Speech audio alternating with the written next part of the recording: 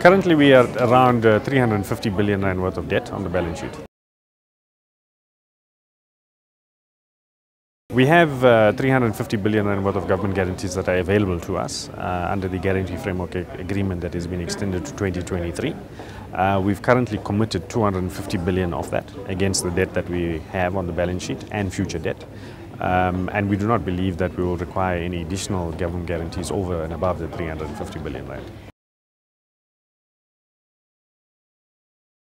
We currently expect the debt to peak at around 500 billion over the next five years and thereafter start decreasing. Um, the peak of the debt is linked to the peak in the capital expenditure cycle. So as we complete Medupi and Kusile and Ingula, uh, you will see that the debt profile starts reducing and the debt requirement starts reducing. Uh, we have um, indicated that we have an aspiration to be able to release uh, about 300 billion worth of government guarantees in the next three years. Um, so that also will start reducing Eskom's uh, reliance on the fiscus. 100 billion. The loan signed today was with China Development Bank. It's a $1.5 billion uh, facility agreement that we've signed, uh, which means that we can draw down around just under 20 billion rands uh, from China Development Bank. The funds for the uh, under the facility agreement will be used to fund the capital expenditure for Medupi. Uh, so it is a dedicated loan to fund Medupi capital expenditure. It is a 15-year agreement, um, so that means that we will repay capital interest over the next 15 years and we have a period of five years within which to draw down the uh, $1.5 billion. The cost of the loan we've actually benchmarked against other loans that we've issued for, of uh, similar size and nature. Uh, we've also uh, benchmarked it against a potential issuance in the global market uh, for that size of $1.5 billion. It's a relatively large loan, as you would know. Uh, you don't do these transactions every day, but uh, we're relatively comfortable that even when we compare it to our weighted average cost of debt, it is a relatively competitively priced uh, facility. The global and geopolitical um, uh, factors that change almost daily these days. Uh, it is difficult to, uh, to put a number on uh, what we may or may not do with China Development Bank in the future.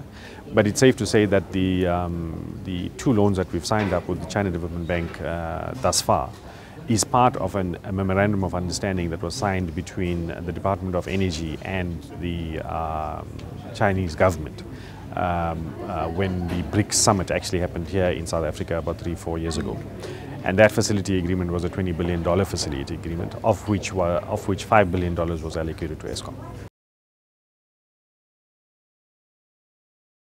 Yes, I think the, the governance issues are a reality that we need to be faced with. Uh, I think the financial markets are relatively sensitive to uh, governance issues, uh, not only in state-owned companies, but any, any, any company. And um, I think uh, one of the um, uh, asset managers has already suspended uh, funding to Eskom. So it is a reality that we are faced with. Uh, we're engaging with uh, Futuregrowth quite actively in terms of being able to uh, continue um, with Futuregrowth.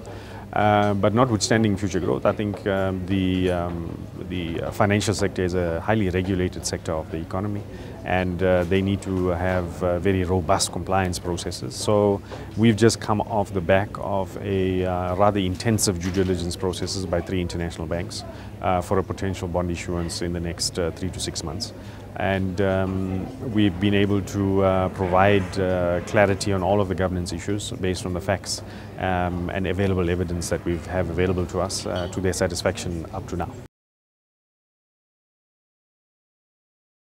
Well, I think uh, certainly it would have a significantly uh, adverse effect um, in terms of if we do not realize the tariff increases that we anticipate. Um, on the upside, though, the three RCA applications that you refer to that we have submitted to NERSA, um, we have uh, factored a portion of those into the cash flows. So it's not all of those that have been factored into the cash flows. Um, so from that perspective, if they do not realize, I think from a business perspective, uh, we wouldn't uh, um, we wouldn't um, uh, suffer material uh, impacts. Uh, but if we continue, obviously, on the basis of getting 2.2 tab 2.2% tariff increases as we've uh, experienced in the current year, uh, Eskom's ability to repay its debt will be significantly, significantly impaired. I think the investors, though, are relatively quite um, uh, shielded against that, obviously because they have government guarantees.